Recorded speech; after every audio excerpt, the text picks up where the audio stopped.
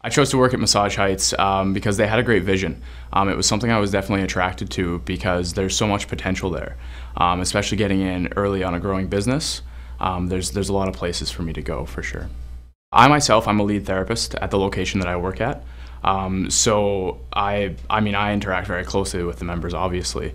Uh, so I spend a lot of time, you know, finding out what their needs are and how to better meet those needs on a daily basis. What I see most of is probably um, deep tissue massage, so more so therapeutic uh, treatments.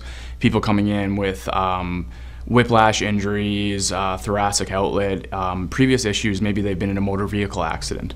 Um, so I, I've taken training in order to help them work through that and then, I mean, obviously myself, I take a more hands-on approach to helping them through those issues.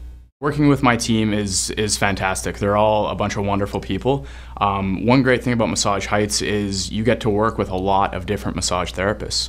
Um, so that's that's not common in this industry, and it's it's a great experience to be around these people. And uh, really, you can learn with them. You can you can bounce ideas off of them and and talk to these people and uh, be very current in your industry, which is is huge. It's a big deal. I can come into work and just focus on the needs of the guest and helping them um, because everything's provided for you. I don't, uh, I don't have to worry about that extra stuff. I just come in and, and do what I enjoy doing and do what I'm passionate about.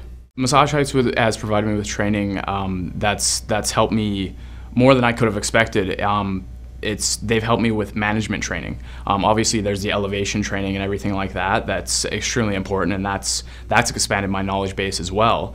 Um, but they've helped me to become a manager and learn how to manage. Well, manage people, which is something that uh, is obviously going to help me in, in my career with Massage Heights.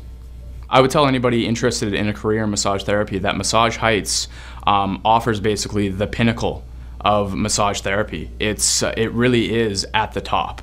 Um, you come in and it's it's top of the line everything. It's a wonderful place to work, um, so that like I said earlier, you can focus on exactly what you're passionate about, and there's none of that extra stuff that you have to worry about. You just come in and do what you're good at and do what you enjoy.